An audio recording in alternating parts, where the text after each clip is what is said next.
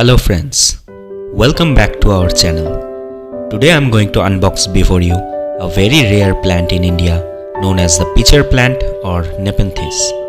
I shall also discuss where to buy them in India and how to take care of them in the Indian climate. I have bought this plant from a person from Assam. He is a distinguished plant seller and a very nice person. I have noticed that these types of carnivorous plants are mainly available with people from the states of Assam and Kerala.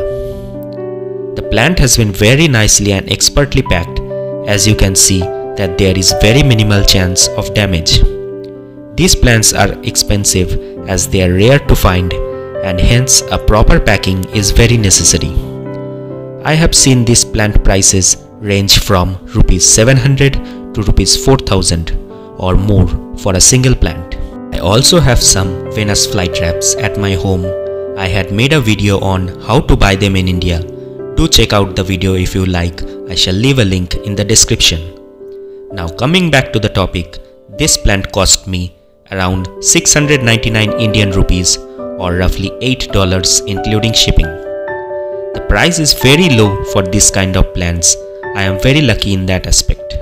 Normally people sell them from rupees 1000 to rupees 2000. This is a baby plant belonging to the variety Nepenthes Gaya or Nepenthes Gaya Buddha. The condition I have received the plant in is perfect, hence no complaints with regards to packing of the plant. Now let me discuss about how to take care of them and where to find them. Nepenthes Gaya Buddha is a hybrid species that originates from three other species Khasiana ventricosa and maxima. The Khasiana species originates from India actually. This plant requires a lot of light. They do not like direct sun but needs very strong bright light to grow well. The medium that is best is cocopeat or sphagnum moss medium. Here sphagnum moss has been used. Personally I have seen that sphagnum moss is well suited as it absorbs a large amount of water to itself. The pot may be plastic made or ceramic made in order to prevent leaching of minerals into the medium. Normal garden soil is not at all suited for this kind of plants. As for water, they prefer the purest form of water that you can provide them. Rainwater or distilled water is best suited for them. Watering should be done very often so that the medium does not dry out at any instance, especially in hot summer months. These plants just love moisture around them and hence they grow very rapidly in the monsoon season. Now let me directly show you some of my chats with the seller in order to give an idea about the pricing of these plants. For this variety of Nepenthes mirabilis cross Viking seed-grown hybrid plant, he had quoted rupees 1200. The price of Nepenthes mirabilis was around 1500 Indian rupees. Nepenthes ventrata, a common variety for collectors, was rupees 900 for a small plant and around rupees 1500 for a larger plant. Nepenthes rafflesiana candy stripes, which is a collector's item, cost around rupees 3500 per plant. The beautiful Nepenthes rafflesiana giant variety, which is also a collector's item, cost around rupees 4000. So this is a rough idea regarding the prices. Now, in order to show you which type of water is most suitable for the plant, I did a small experiment to measure the TDS of water from different sources.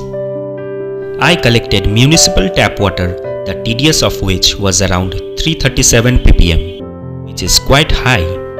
Next, for water from the Ganga river, the TDS was perfect, around 157 ppm. For distilled water, it was only 0.04 ppm.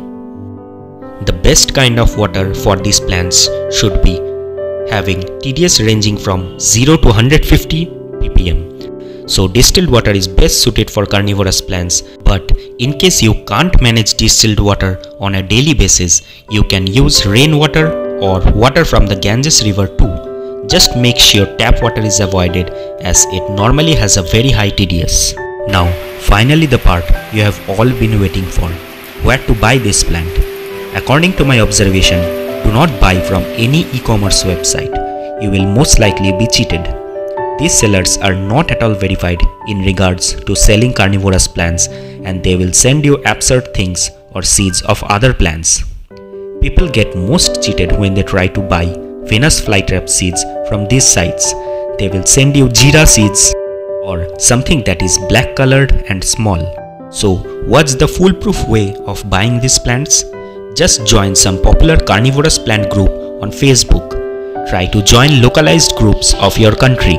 There, some reputed sellers will post daily pictures and videos of their plants and most of them will openly quote their prices. Hence, there is less chance of getting cheated. Still, do your due research about the sellers before placing any order as no one will take responsibility in case something adverse happens. Now let me suggest some Facebook groups for you. For Venus flytraps, you can join the group Venus Flytraps India VFT1. For Nepenthes and other carnivorous plants, the group Carnivorous Plants Community is good. I hope you all found this video informative and enjoyable. Do give this video a like and subscribe. Thank you. Have a great day.